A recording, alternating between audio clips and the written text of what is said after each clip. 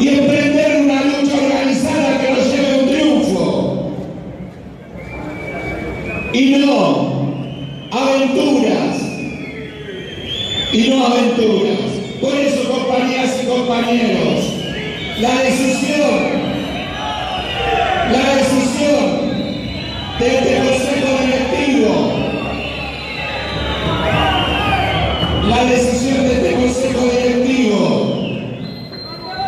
de marchar el 22, marchar el 22 de agosto. Y después